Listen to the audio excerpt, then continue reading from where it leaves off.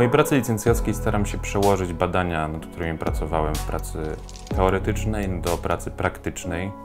Polega to na tym, że badam manipulacje w fotografii i staram się mieć kontrolę nad każdym etapem, każdym krokiem tworzenia zdjęć. Od obiektu, który fotografuję, przez co stworzyłem rzeźby, przez aparat fotograficzny, który stworzyłem, po wywoływanie zdjęć w domowej ciemni domowymi odczynnikami.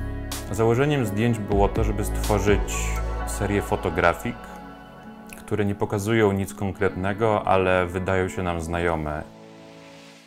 Budzą w nas pewne znajome emocje, czyli są abstrakcyjnymi formami, ale mimo wszystko każdy może w nich zobaczyć coś dla siebie.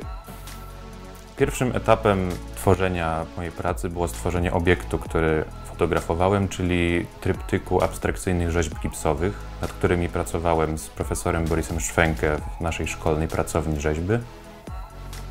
Z założenia rzeźby luźno bazują na kobiecych kształtach i są abstrakcyjną formą. I ta abstrakcyjność potrzebna jest jako element manipulacji, ponieważ wywołują w nas znajome emocje, ale nie pokazują nic konkretnego. Drugą częścią mojego dyplomu było stworzenie wielkoformatowego aparatu analogowego, który na potrzeby dyplomu musiałem zbudować całkowicie od zera.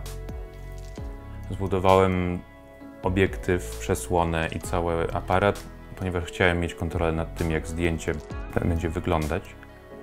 Używałem do tego papieru fotograficznego zamiast kliszy fotograficznej, ponieważ dawało mi to większą kontrolę nad tym, jak finalne zdjęcie będzie wyglądać zarówno poprzez naświetlanie i później wywoływanie w domu. Ostatnim etapem było wywoływanie zdjęć, które zaczynało się w ciemni, gdzie domowymi chemikaliami wywoływałem i utrwalałem zdjęcia. Domowe chemikalia tworzyłem głównie z sody oczyszczonej, herbaty miętowej i witaminy C.